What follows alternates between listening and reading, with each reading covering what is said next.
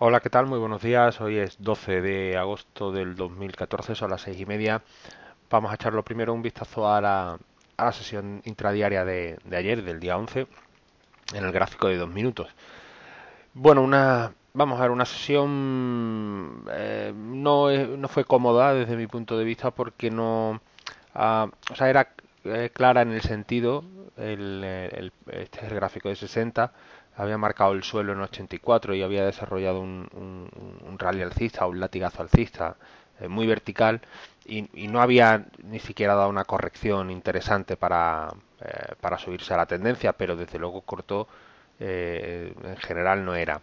Es cierto que aquí en, en 38.25 no había marcado yo una zona de resistencia, la había marcado en, en, 32, pero bueno, sí que ayer, a medida que el precio se acercaba, eh, aparte de esperar al precio en, en 45, que sí que la considero interesante, en 37 pues marqué este techo relativo. Bueno, y, y, marcó una zona, pero lo que está claro, o por lo menos como yo lo veía corto en principio, eh, bueno, salvo que hubiese una gran distribución y la perdiese, había que tener mucha precaución. El caso, bueno, el brokeraje inicial desde luego muy dentro de, ese, de esa idea larga pero muy oscuro, muy, eh, eh, muy, muy, nada definido, porque estuvimos media hora con mucho volumen aquí, luego mucho volumen aquí abajo, y no se termina de definir. Eh, aparentemente perdía el, la, idea alcista, pero no la perdía, y termina rompiendo. Aquí se aclaró la idea, por lo menos así lo, lo veo yo. Aquí se aclara la idea porque rompe con intención y por lo tanto con el sentido alcista todo pinta bien. Uh, pero cuando va a seguir haciendo máximos aparece aquí mucho volumen en la zona de resistencia que había comentado y por lo tanto hay que poner en cuarentena ese largo eh, por lo menos para una corrección. Y la corrección no la hace fácil porque uh, si fuésemos a Elliot esto casi parece un C, una B, un B fuerte y un fallo de C, ¿no? O sea, no eh, eh, luego la salida es explosiva, pero desde luego no es una, estructura de A, B y C cómoda. Lo lógico es que el C termine aquí, a la altura de A, y las B fuertes tampoco son muy, son muy habituales. Otra posibilidad es que hubiésemos tenido aquí el... Uh, creo que pierde un momento el B esto pasa a veces en Visual Chart. Bueno. Ahora. Um, ahora, que hubiésemos tenido aquí el A, el B y el C, mini A, B y C, una especie de zigzag truncado, chiquitillo. Y hubiésemos tenido el final de pauta anterior aquí. Pero eh, esta corrección no parece muy proporcional a toda esta subida.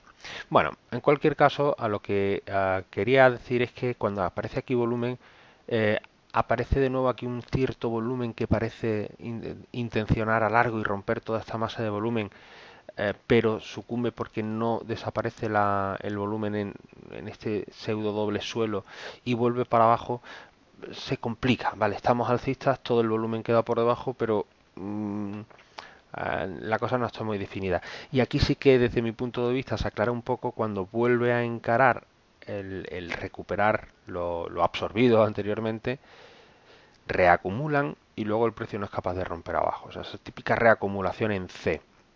Eh, lo aclara y bueno, y por lo tanto la escapada luego eh, está eh, relativamente interesante pero tampoco tiene un, recorrido espectacular. O sea, vuelve otra vez a tirar mucho volumen y la cosa se para. Y aquí ya se complicó mucho la tarde. ¿Por qué? Porque no, no se volvió a ver el largo, pero el corto, el primer sitio donde, eh, desde mi punto de vista, eh, se puede plantear es cuando el precio recupera los 35.50 y estamos hablando a las 8 de la tarde.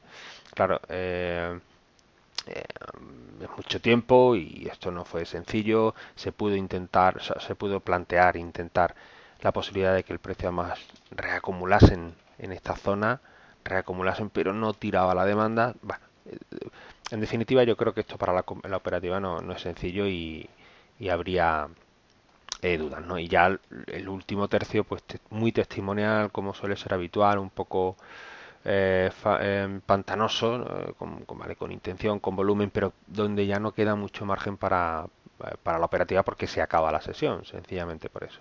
Bueno, visto esto en, en diario, la idea es que, bueno, seguimos alcista. Aquí se puede trazar desde los máximos una directriz que también da juego a, esta, a este nivel de soporte, de, perdón, bueno, soporte a la resistencia de 46. Ya veremos por, por esta zona. Y, bueno, directriz, es que seguimos encerrados. Hay que tener eso eh, muy claro, ¿no? Con tanto volumen, lo comentaba el primer día, es normal que el precio lo tenga que digerir. Eh, o sea que estamos en eso. A ver si eh, termina volviendo a coger intención ¿no? y nos define o bien que sigue la tendencia al rally alcista de largo plazo o incluso, porque no podría ser que tuviésemos impulso corrección, desaparece la demanda y encaremos de nuevo los 1900 para abajo con, con, fuerza. ¿no? Y en 60, pues básicamente igual, si es que no nos hemos movido de un rango de 10-15 puntos en esta semana y pico. ¿no? 84, 10, 32, 37, 45 y yo creo que con eso tenemos zonas para ir eh, observando al precio y lo que nos vaya dibujando la sesión, que, que también seguro que no que nos da ideas. Así que nada, bueno, buena sesión, que vaya todo bien en, en Chicago y nos vemos mañana.